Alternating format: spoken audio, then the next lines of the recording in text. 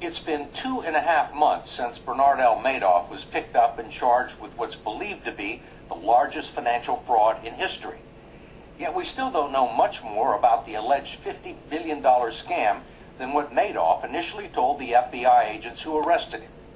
There are still no indictments as federal prosecutors continue to unravel the case and to try and figure out exactly what happened and who all was involved. But the proof that it happened be found in the ruined lives of thousands of victims. The one person who knows the most and is willing to talk is Harry Markopolos, the man who figured out Madoff's scheme before anyone else. He sat down with us for his only television interview. Until a few months ago, Harry Markopolos was an obscure financial analyst and mildly eccentric fraud investigator from Boston, who most people would never notice on the street. My modern Greek hero. How you doing? But today he enjoys an almost heroic status, pursued by journalists and movie producers and honored by colleagues as the man who went to the Securities and Exchange Commission and blew the whistle on Bernie Madoff and his $50 billion fraud. Thank you. Thank you. Please take your seats. But he seems uncomfortable with all the attention and knows that he is no hero. Uh, I stand before you a $50 billion failure.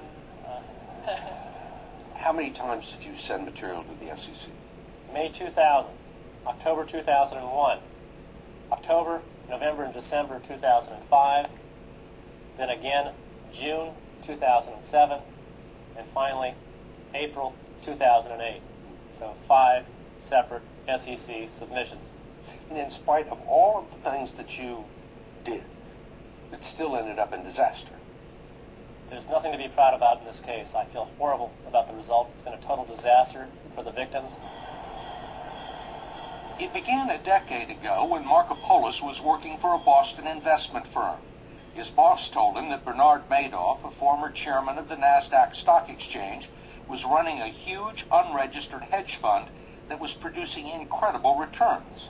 He wanted Harry to reverse engineer its trading strategy and revenue streams so that the firm could duplicate Madoff's results. He had the patina of being a respected citizen, one of the most successful businessmen in New York, and certainly one of the most powerful men on Wall Street. You would never suspect him of fraud unless you knew the math. So, I mean, you're like a math guy, right? I've taken all the calculus courses from integral calculus to differential calculus, as well as linear algebra, and statistics, both normal and non-normal. How long did it take you to figure out that there was something wrong? It took me five minutes to know that it was a fraud. It took me another almost four hours of mathematical modeling to prove that it was a fraud. What were the things that caught your attention? It was the performance line. As we know, that markets go up and down. And his only went up. He had very few down months. Only 4% of the months were down months. And that would be equivalent to a baseball player in the major leagues batting 960 for a year. Clearly impossible. You would suspect cheating immediately. Maybe he was just good. No one's that good. Harry said there were only two plausible explanations. Either Madoff was using insider information to rack up huge profits, or he was running a giant Ponzi scheme. So either way, he was doing something illegal. Either way, I knew he was going to go to prison. In May of 2000, Markopolos took his suspicions about Bernie Madoff to the Boston office of the Securities and Exchange Commission.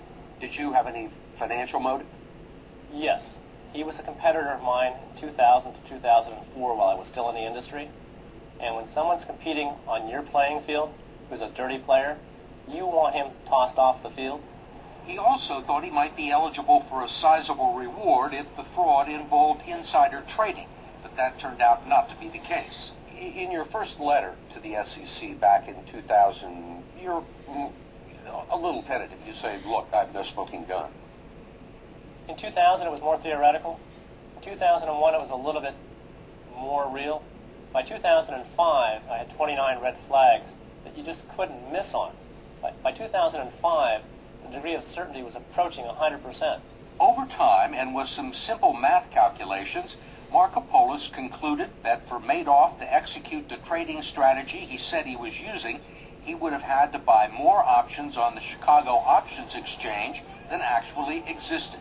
Yet he says no one he spoke to there remembered making a single trade with Bernie Madoff's fund. I would talk to the people I had trading relationships with and ask, did you have a trading relationship with Mr. Bernard Madoff? And they all said, no, we don't think he's for real.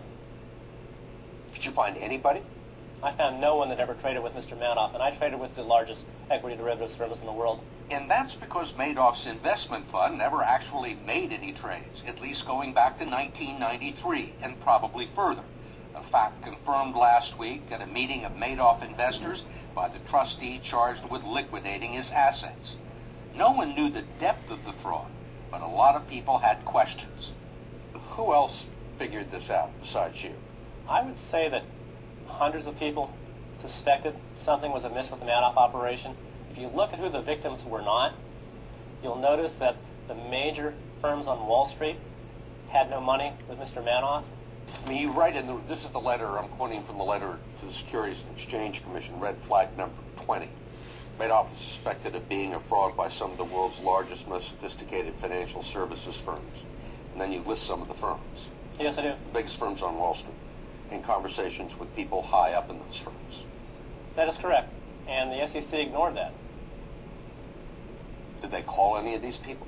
All the SEC had to do was pick up the phone. They never did. If you had executives at, at the biggest investment houses in Wall Street that knew something was wrong, why do you think they didn't go to the SEC? Because people in glass houses don't throw stones, and self-regulation on Wall Street doesn't work. In January 2006, the New York office of the Securities and Exchange Commission finally opened a case file to look into Harry's allegations about Bernie Madoff. Despite uncovering evidence that Madoff had misled them about his investment activities, the SEC closed the case 11 months later without ever opening a formal investigation. The staff said there was no evidence of fraud. What I found out from my dealings with the SEC over eight and a half years is that their people are totally untrained in finance, they're unschooled,